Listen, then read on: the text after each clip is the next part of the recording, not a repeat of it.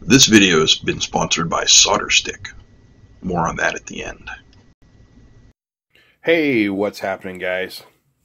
We're back again onto the uh, dog anti-bark device. If you haven't followed in the first uh, few episodes of this, my neighbor's dog barks incessantly.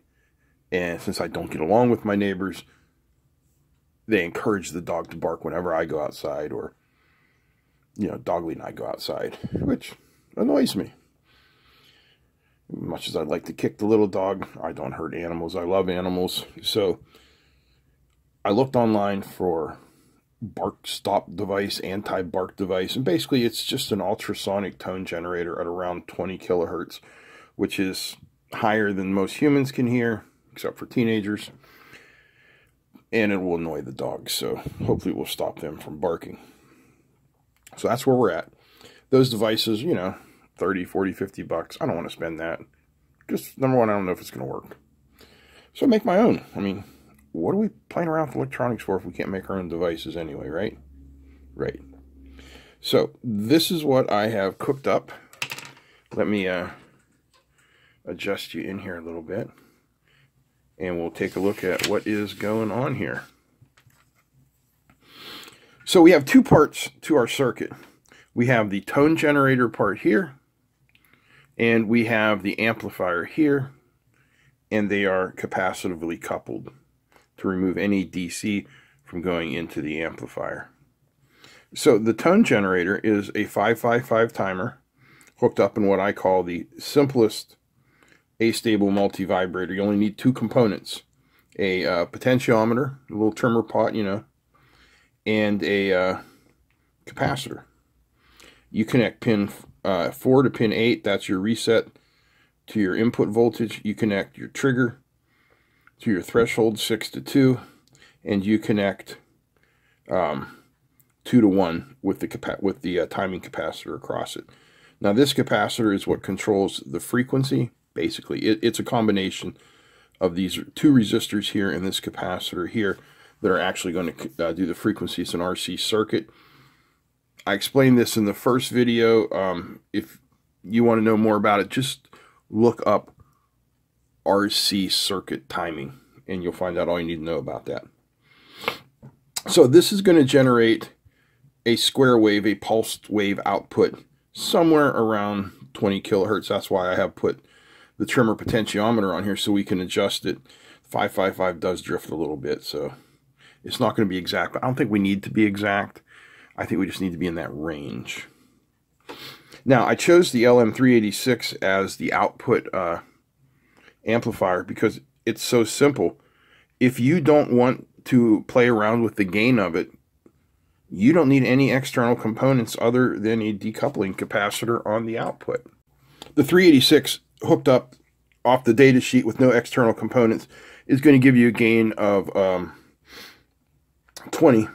But basically just pick a capacitor, any capacitor you got sitting around, and attach it between pin um, 1 and pin 8, and that is going to go 10 times the gain to about 200. And then this is my decoupling capacitor for the speaker, which we're going to get to in a minute. Just move this out of the way here. Here is the circuit that we just talked about with the NE555 timer. You see how we have the potentiometer across pins 8, 7, and 6? And the capacitor goes between pin 1 and 2 there. Over here on the LM386, I'm using a 0.01 microfarad capacitor to induce the gain circuit. And then I have a 2 millifarad, not micro, milli, see? 2000 microfarad capacitor as a decoupling capacitor going to the speaker. Okay, just everything we talked about is here. I did not put a voltage here because right now I'm testing this at uh, 6 volts, but I think I may run it a, with a 9 volt battery. We're going to see how that goes. I have to check the data sheet on the LM386. I know the 555 timer can handle it, so we'll just have to check that one, and we should be good to go. So let us attach this up here.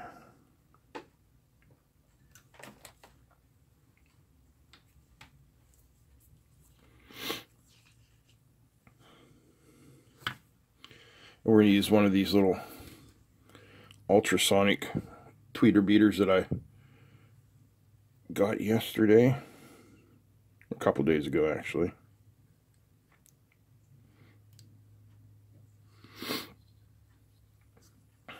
Connect this up.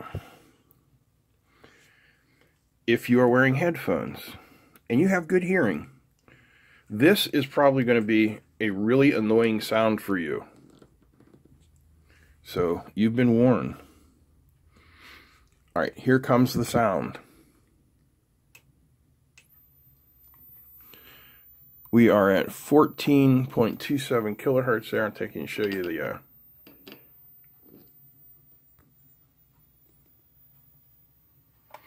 There's our waveform. Now, if I adjust it, oh, I think I just did something bad. I think I just put six volts of DC into the speaker. Crap. When I hooked it up, I plugged it in the wrong place. Crap, crap, crap. Let's see if it still works. It may not.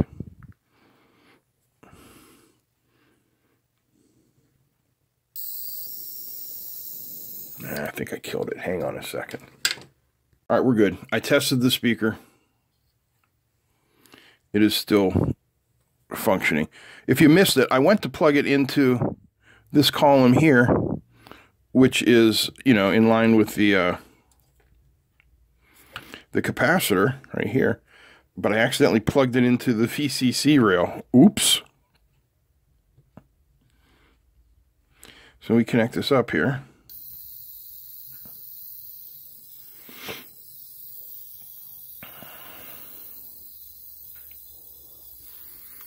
Show you the waveform.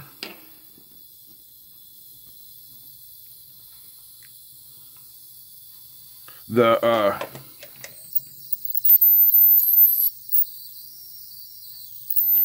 this little dip here is new. I didn't get that before.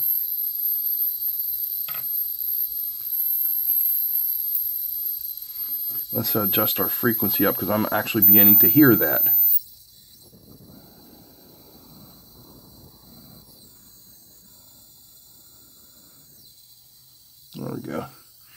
Right at 20 kilohertz.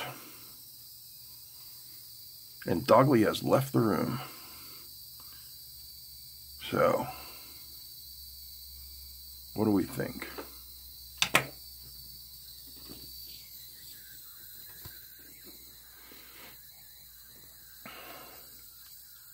I tell you, I'm impressed with just about everything so far. Um, I'm going to disconnect the speaker for anybody who could actually hear that and was probably going crazy. I apologize.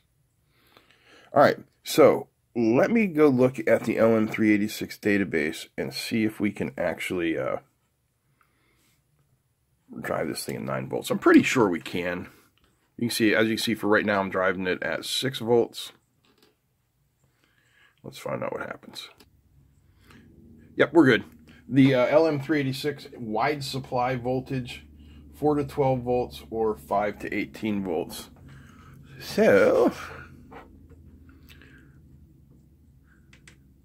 let's take this up to 9. Do, do, do. 9 volts.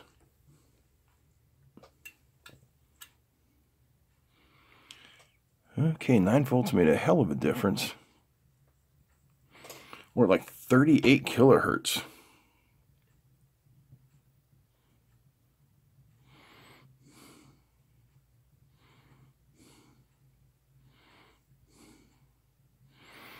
No, I don't like 9 volts. 9 volts was just convenient. Let's go uh, seven point four. That's a two cell lipo. Frequency still a little funky at 38 kilohertz. Let's see what happens. We can slow it down here.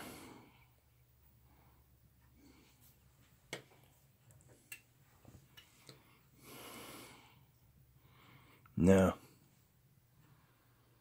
no, no. All right, let's go back down to 6 volts.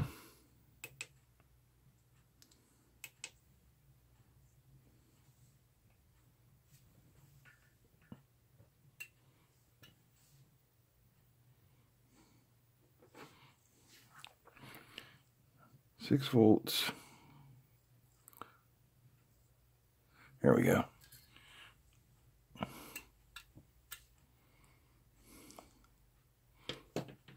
Plug that back in.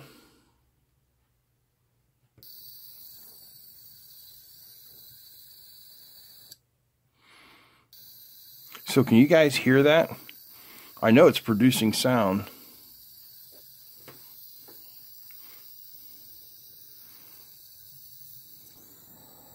There's 20 kilohertz in the waveform. Does not look terrible. All right, I'm to unplug the speaker. I think that's it. I mean, I think that's what we're going to go with. So let me know what you guys think down below. And uh, if you guys think this is viable, I, I, I do. If you guys think it's viable as well, like I said, let me know down below and we'll take it to the next step and put it on a uh, I thought I had some proto boards there. We'll put it on a proto, we'll solder it to a proto board, you know, like a, what do they call them, boards. Check it in that method because breadboards are notorious for having a, uh, just a ton of capacitance and inductance in there. Because, you know, basically they're just strips of metal. All right, so that'll be our next step. If you guys have any comments, please let me know in the comments down below. Don't forget to check out the video of our sponsor, Solderstick, here at the end. All right, guys, that's it. I'm out. Peace. Today's video is brought to you by Solderstick. Solder Stick makes quick, waterproof wire connections that last a long time and protect whatever it is you're working on.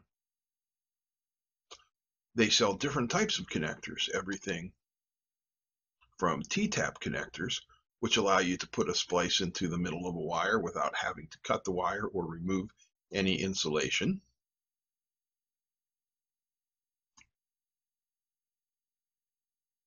Waterproof uh, melt butt connector kits